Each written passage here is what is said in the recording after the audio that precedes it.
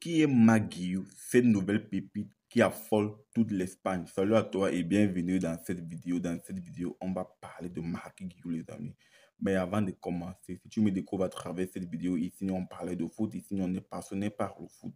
Donc, si tu es intéressé par la thématique, si la thématique te parle, n'hésite pas à t'abonner, d'activer la cloche de notification pour ne rien manquer des prochaines vidéos.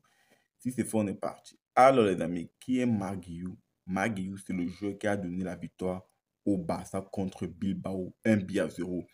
C'est lui qui a marqué le but de la victoire. Et du coup, son but a fait parler. Tout le mec n'a que 17 ans, les amis. 17 ans. Il est né le 4 janvier 2006. Le 4 janvier 2006. Il a 17 ans. Et du coup, c'est un jeu qui fait déjà parler. On le compare à Suarez, on le compare à plusieurs grands avant-centres du FC Barcelone. Mais ce que moi je vais dire, c'est que ce que moi je vais dire ici, c'est que c'est un peu tôt. C'est un peu tôt de comparer sur des joueurs au Suarez, au Samuel et j'en passe. Parce que c'est mettre la pression aux joueurs pour rien. On a connu des joueurs qui n'ont pas su euh, ils n'ont pas su supporter à cette pression. Je pense notamment à Boyan Kliklich, je pense à Christian Théo, je pense à Isaac Cuenca, à plein d'autres joueurs, en Soufati et j'en passe.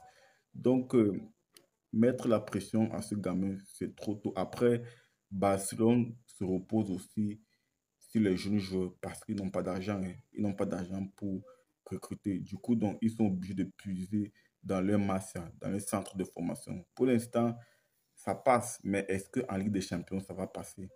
Est-ce que ça passera en Ligue des Champions?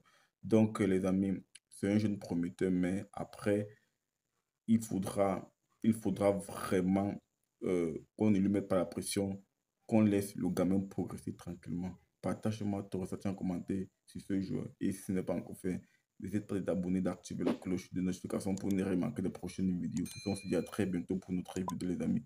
Ciao, ciao.